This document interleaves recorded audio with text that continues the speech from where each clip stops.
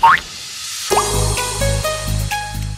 Xin chào tất cả mọi người, chào mừng các bạn đã quay trở lại với kênh Địa Tứ. Trong cái số video ngày hôm nay chúng ta sẽ nhau chơi vì vị tướng Kirok nhé Một con tướng mà anh em bảo rằng nó đã bị Aoita Và không biết được rằng ở phiên bản tu di giới này Kirok nó có quá yếu đuối hay không? Mời quý vị và các bạn cùng nhau hạ hồi phân giải nhé. Khi mà Kirok đang giữ cho mình vị trí solo top lane và đang đối đầu với nhỏ Eri Eri nó đang thất thế. Khi mà nó không thể nào đạt được cho mình level hai lượng máu của nó đang tụt dần. Như không phanh đây là sao đi sai lầm của nhỏ Eri Eri mất thì mình pha rồi dứt nó luôn nha. Đây là một cái pha mà mình không ăn nữa thì làm sao xứng đáng là đệ tứ cơ chứ? Nhảy vòn trội chết trụ bắn quá và đó là một cái tình huống ốc chó để từ đi của đệ tứ lúc đó em tưởng vậy là ngầu. Quá ỷ y quá anh em một cái pha mà mình quá tự phụ đi. Ơi ơi cái sát thương đến từ trụ ở khoảng thời gian đầu game cái này nó rất là thốn rồi ha. Ờ, nói qua sơ một tí về con tướng Kirok này.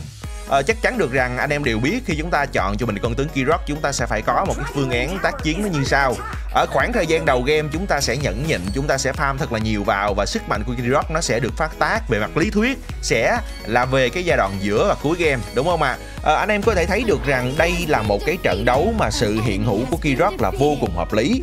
Bởi vì địch thủ của tụi mình đang là điêu thuyền địch thủ của tụi mình đang là con bài Mina. Đây đều là hai con tướng có được cho mình khả năng tạo ra được những cái chèn CC và khi Kirok bật ra cho mình chiêu cuối chúng ta sẽ hóa giải toàn bộ những hiệu khống chế đó và chúng ta sẽ quẩy liên tục trong giao tranh. Cái vấn đề ở đây là Kirok sẽ nhảy vào ở cái thời điểm nào và Kirok có thể nào mà tạo ra một áp lực cho những cái nguồn sát thương chủ lực hay không? Một câu khẳng định chắc nịch, họ sẽ ăn cho mình con Caesar vấn đề chỉ là thời gian mà thôi. Con nhỏ kêu ra nãy giờ nó đang vờn xung quanh đây, đúng không ạ? Caesar bắt đầu được ăn rồi, chúng ta chuẩn bị có một pha liều mạng tranh cướp thôi nào. Báo chúng nào đâu biết được rằng đây sẽ là một pha highlight đó. Bắt đầu bật những nó bàn ác bồng bi khơi được hiệu triệu, ra có được Caesar rồi. Long kiếm được bật, tam giác quỷ được vẽ ra được tất cả bên kia. Kirok sẽ bị bức tử trong tình huống này, nhưng không sao, có được Caesar là một thành công rồi. Giao tranh tiếp, bảo tuyết đến từ điêu thuyền, không có sát thương gì cả. Lên đoạn điểm số quá nhanh đi. Chrissy vẫn còn cho mình trạng thái mưa sao bằng tung bướm đi bạn ơi. Bướm được tung ra rồi kia kìa. Và đó là double kill đã có thể hạ bệ thành công nhỏ tiêu nát rồi và đây là một thời điểm mà chúng ta đã có được cho mình lưỡng dụng, vừa có được Caesar mà vừa có được rồng luôn rồi. Thế trận ở thời điểm hiện tại, chúng ta đang được snowball. Và những gì chúng ta cần làm là duy vững điều đó. Tình huống giao tranh vừa rồi, nó cũng có thể được xem là một cái pha lưỡng bại câu thương khi mà cả hai bên đều có một cái sự tổn hại về mặt lực lượng với nhau. Nhưng nếu xét trên một cái hệ giá trị thì chúng ta có sự nhỉnh hơn về mặt lợi thế. Anh em tụi mình nói qua sơ một tí về cái sở trường và sở đòn của Kirok đi ha. Nói về sở trường, đây là một con tướng có được cho mình cái lượng sát thương lớn đến từ đòn đánh tay. Đây là một con tướng mà nó sẽ tự trao sao cho tăng tốc đánh khi mà bạn đạt được cho mình năm tắc nội tại là áp suất biển sâu. Và cái sở trường thứ ba nữa là Kirok nó sẽ hóa giải toàn bộ cái hiệu ứng khống chế, đúng không ạ? À? đây là một trong những cái hiệu ứng nó rất là hay, nó giúp cho cái khả năng truy đuổi của Kirok trở nên tốt hơn, mở ngoặt ra nếu như Kirok còn sống. Và đó cũng chính là cái nhược điểm của Kirok uh, nếu như xét trên một cái mặt bằng chung của cái chất tướng đấu sĩ thì cái lượng máu Kirok nó sẽ thấp hơn. Uh, chúng ta cũng không thể nào đòi hỏi quá nhiều tại vì đây là một chất tướng mà đấu sĩ thiên về khả năng sát thương đúng không ạ? Ritnak đã ra tín hiệu tập hợp rồi anh ta muốn thực hiện một pha ganh bất ngờ tại khu vực này. tôi đang tiến hành zoning để mang lại những cái thông tin an toàn cho anh ấy. Anh ấy đã chọn cho mình giải pháp rút lui và tiếp tục thực hiện cái công tác là farming của mình. Rồi đẩy đường tiếp thôi nào. Lượng máu của Kirok còn vỏn vẹn đâu đó ba ngàn rưỡi mà thôi. Nhưng với bản ngọc với lối trang bị như này cái khả năng hồi phục của tụi mình nó cũng tương đối cho nên chúng ta đủ sức để có thể lấy trụ được không? Một cái tín hiệu trống vắng tại cùng oh, con nhỏ Eri rồi không biết bút trụ không mà trụ vẫn đang được bào liên tục. Kia kìa lụm nhẹ cục máu khả năng hồi phục tăng trưởng rồi còn vỏn vẹn 20 phần trăm mà thôi à, bây giờ mình có nên ở lại chơi có nhỏ Eri này không à? Dính vào cho mình đi silicon rồi nhé. Icon buồn đã bắt đầu hiện lên rồi. Sắc lẻm đang có nó chém tôi hơi bị ghê quá tôi sợ quá cơ tôi mắc sợ quá tôi sợ nó chết sớm đó các bạn. Ô má bắt đầu sợ thiệt rồi nha nó có cho mình cái con kiếm lượng máu của mình tụt dần như không phanh được kia kia. Bật tốc hành chạy nhanh lên nào bắt buộc phải làm điều đó. Tôi đang cố gắng chạy nhanh như một con chó ở lộn chạy nhanh như một cơn gió. Và thoát khỏi cái cục truy sát của nó. Tar vào đây biển trụ bắn một phát rồi nhé. Lượng máu của nó chỉ còn vẫn vẹn 800 máu mà thôi. Một câu khẳng định chắc nịch nó không dám ở lại đây nữa. Cho nên chúng ta sẽ ở lại đây và thực hiện công tác đẩy trụ. Và cái trụ bảo vệ nhà chính đầu tiên của tụi nó tại một tập lane sẽ bị mất đi. Tụi mình sẽ nhận về một cách miễn phí. Quay trở lại câu chuyện tụi mình con tướng Kirok có một cái tip nhỏ nhỏ nào mà những bạn mới tập chơi Kirok mình nghĩ rằng các bạn sẽ không để ý tới đâu, là khi mà các bạn dùng cái chiêu một trúng lên mục tiêu chúng ta sẽ được giảm ngay 4 giây thời gian hồi chiêu của kỹ năng này vì vậy, trong những tình huống giao tranh, trong những cái tình huống mà đơn đã độc đấu với đối phương á, nếu có thể hãy cố gắng dùng cái chiêu một trúng lên đối phương để các bạn có thể tối đa được cái khả năng cooldown được xanh tiếp tục một tình huống đối đầu với nhỏ Eri. Eri nó dùng đây cho mình cái hồng kiếm, chúng ta sẵn sàng chơi bởi vì chúng ta đang có sự vượt trội mặt lực lượng, nó không dám chơi, nó đang ngã ngủ lưu về một cách khiên cưỡng rồi. Rất hơn là nhờ có sự tiếp viện của Ricknack ở thời điểm đó. Chúng ta lui về thôi nào.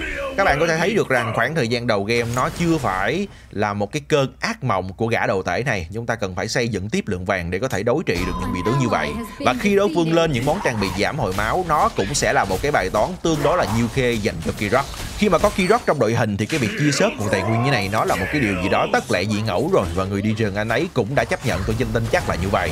Con nhỏ này nó muốn kiếm chuyện các bạn ơi nước sông không bằng nước đáy bạn làm gì bạn ơi? Nó muốn kiếm chuyện thằng nào mạnh bước vô mày muốn chơi đúng không? Chúng ta còn ra cho mình cuối điều thuyền bật lên mình chỉ cuối chủ yếu để làm màu mà thôi nó đang quá yếu đuối kia kìa không có một tí sát thương nào cả. Và đó là double kill thuộc về cho Kirok đã tao nói rồi. Đừng bao giờ đụng chạm tới nước đáy à, lộn đừng ba, nước nước giếng tụi mày đừng bao giờ ví dụ nước gì quên mất nước sông nước mắm gì đó. Thôi nước gì kệ bạn nó đi quay trở lại câu chuyện nào. À, các bạn có thể thấy được rằng tình huống giao tranh vừa rồi chúng ta đã có thể uh, cân hai được và nó đảm bảo được một điều nó giúp chúng ta tự tin hơn ở một cái pha solo với nhỏ Eri ở thời điểm này đây. Eri cô ta nghĩ rằng đây vẫn đang là một Kirok miếng giấy chủ đích. À, lộn đây vẫn đang là một Kirok con nít nhưng hãy nên nhớ được rằng đây không phải là con nít bình thường mà là con nít đã mọc lông nách, đây là Kirok đã trưởng thành rồi nha. Siêu biệt tuyệt vời cho Kirok luôn rồi. Kirok đã đạt đến trạng thái chín mùi mặt sức mạnh chưa đủ khả năng để có thể cân 2 cân 3 rồi đó. Và khi các bạn đủ tự tin như vậy chúng ta sẽ có thể làm được nhiều thứ khủng khiếp hơn thế nữa. Tại bên dưới kia kìa Họ đang quần thảo với nhau và lợi thế đang thuộc về cho ai đây à Crack có một pha kéo hay rồi đóng băng tuyết liên gì đó của điều thuyền cũng hơi bị chuẩn đó Nhưng hai thành viên, ba thành viên đều đã bị khai trừ cả rồi và đây là nỗi buồn của Kirok khi Kirok không thể nào tham chiến và hỗ trợ sức mạnh cho team ở những pha cơ bạc như vậy. Chúng ta sẽ phải có một cái sợi dây liên kết về mặt địa lý để khi đồng đội cần chúng ta sẽ góp mặt cái ô nhỏ kêu ra nó lại một lần nữa nó muốn chơi và các bạn có nghe thấy được cái âm thanh gào thét của Kirok không? Và Kirok đang ăn hết tất cả mọi thứ luôn kia kìa. À, đã nói rồi đừng có đụng tới nước đáy của tụi tao nữa mà nước giếng này không nghe gì hết trơn không biết các bạn như thế nào nha. Nhưng riêng bản thân mình ha khi mà mình chơi cái con tướng Kirok này cái điều mà nó làm cho mình thỏa mãn cảm xúc nhất á, là cái gì các bạn biết không? Chính là cái hiệu ứng âm thanh. Công nhận cái ông lồng tiếng cho cô cái nhân vật Kirok này ghê thiệt. Nó nó cực kỳ đã luôn nhất là cái lúc mà ông gào thét nha khi mà các bạn bật chiêu cuối hoặc là khi các bạn ăn được mạng nghe nó cực kỳ đã luôn nha. Và khi cái tinh thần bạn được đẩy cao như vậy kỹ năng chơi game của bạn nó cũng sẽ tỷ lệ thuận theo vì Kirok đang gào thét cái chèn Kirok Kirok đang xé xác hết tất cả mọi thứ trên bản đồ ờ, chúng ta có thể thấy được rằng đó là một tình huống mà Kirok đã lấy luôn trụ đã lấy luôn những cái bạn của Katarina hai bên kia và nhanh chóng chạy về rút lui một cách an ổn và không hề có bất kỳ một tín hiệu nguy hiểm nào cả và với khả năng hồi phục của Kirok ở thời điểm hiện tại, tôi tin chắc được rằng Kirok đủ sức để có thể sơn tái được cho mình con Caesar phút thứ 9 này luôn. Là một điều rất nhàn hạ. Và giờ phút này đây, các thành viên đội Sanoben họ hơi tự tin rồi nha. Họ đang tiến hành giao tranh mà không có sự góp mặt của Kirok ở khoảng thời gian này. Đó sẽ là một cái điểm khuyết về mặt sát thương. Nhưng họ vẫn có được cho mình những điểm hạng cục đó. Ritnak anh ta muốn tự sát cơ à. anh ta thao vào đây việc anh ta chạy được không? Câu trả lời đã là không rồi. Bị trụ bắn rồi.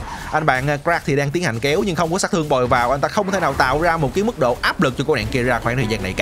Van hèn không biến về. Van hèn đang núp lầm Van hèn đang muốn tạo ra một pha hắc não, nhưng nào ngờ não nó hắt ngược trở lại anh ta rồi. Crack vẫn đang giữ chân tại nơi kia. Lượng máu anh ta chỉ còn vỏn vẹn 45% mà thôi. Anh ta nên cẩn thận bởi vì cái khoảng thời gian hồi sinh các hơn bên kia, nó nó nó nó sắp đầy đủ cả rồi. Caesar đã được tụi mình thuần phục rồi ha. Crack nên biến về đi bạn ơi. Bạn hơi quần long vô thủ rồi đó. Bạn đúc vào quá sâu rồi nha. Làm sao bạn có thể rút ra được? Đây đó là một pha tốc biến cuộc ra. Thấy đồng đội như vậy, cái bạn tính sóng gió à lộn, sóng gió, thấy đồng đội gặp sóng gió như vậy, tôi không thể nào bỏ qua. Ra còn một giọt báo cuối cùng mà thôi. Khi rất bật ra mình đi cuối đó là lông kiếm được quá nhiều lượng sát thương đi. Ờ, à, hỗ trợ sát thương đến từ của đàn Greasy bị đóng băng bỏ mạng lại. Xin lỗi Greasy. Tôi sức cùng lực kiệt rồi tôi không thể nào cứu vãn bạn được khi mà tôi không còn bất kỳ một chiêu thức bất kỳ một cái hiệu ứng giải khống chế nào bất kỳ một cái điều kiện nào để có thể chiến thắng họ ở một cái pha ở ở một cái pha đối đầu như vậy. Chúng ta hãy trân quý cơ hội đi những bước đi sai lầm của đội xanh của mình nó đang ngày càng được lộ rõ ra. Và đội bên kia họ đã khai thác được những sai lầm đó. Và giờ đây họ đang có được những cái lợi thế trở lại. Nhưng thực tế mà nói, những lợi thế này nó chưa đủ để giúp cho họ hình thành được một tình huống giao tranh lật kèo cả. Nhưng đó chỉ là về lý thuyết mà thôi. Còn thực tế như thế nào thì chúng ta vẫn chưa biết được và chúng ta vẫn đang nằm ở kèo trên và lợi thế vẫn đang nghiêng về phía đậu xanh tụi mình. Hãy trân quý cơ hội này. Tôi đã bắt đầu thả ra cho mình con Caesar tại khu rừng trên này. Và tôi sẽ nhanh chóng di chuyển ra khu rừng giữa để có thể tạo ra một cái áp lực to lớn và chắc chắn rằng chúng ta sẽ có được những đường lính siêu cấp hay không đây. Mời các bạn cùng nhau hạ hồi phân giải. Nhưng tôi nghĩ rằng chúng ta sẽ không cần phải hạ hồi phân giải nữa bởi vì chúng ta thấy được rằng đó là cô nàng Kera cô ta đang trở thành một ngôi sao. Cô ta đang sẽ rất cô đơn trong tình huống này. Đây rõ ràng là một ngôi sao cô đơn. Này quê quán tại Bến Tre liệu rằng cô ta có thể nào tạo ra được một cái pha hắc não tụi tôi với kỹ năng tam giác quỷ không? Câu trả lời là không bao giờ rồi hai thành viên đã bị kiệt quệ đi về mặt sinh khí cả rồi và các hiệu kia họ sẽ sắp sửa đến với trạng thái là bị loạn đao phanh thay cả thôi. Họ không cấm đi cho mình quân bạch ra đó là bước đi sai lầm của họ. Cái bước đi sai lầm kế tiếp nữa là họ nghĩ rằng sẽ không bao giờ có sự xuất hiện của con Kirok. Nhưng nào ngờ cái người biết cuối cùng lại biết ngay cho mình một cái con tướng được xem là Aometa, một cái con tướng được xem là phế vật ở phiên bản hiện tại. Nhưng bây giờ nó lại trở thành một cái con quái vật nó khiến cho họ áp lực thật sự. Họ không thể nào làm được bất kỳ điều gì cả với con cưng kỳ rọt này. Cảm ơn các bạn đã dành ra thời gian quý báu để xem video. Hẹn gặp các bạn ở số video vào lần sau.